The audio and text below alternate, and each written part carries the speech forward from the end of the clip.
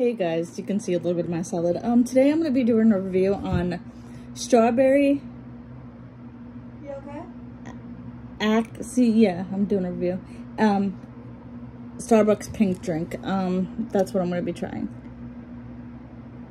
I'm going to be do doing my review on it. I already pre-opened it, guys, so. It smells like the pink drink.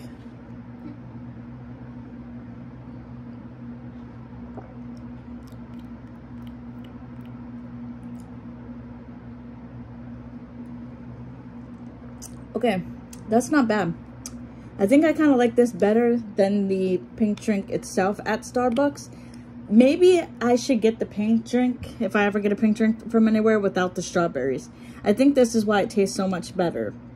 It's because the strawberries in it, maybe, or there's too much strawberries that they put in it and less of this.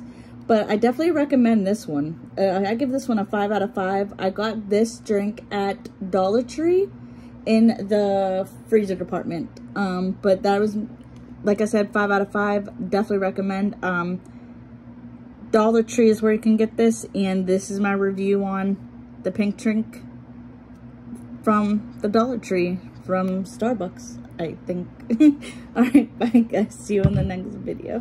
Bye.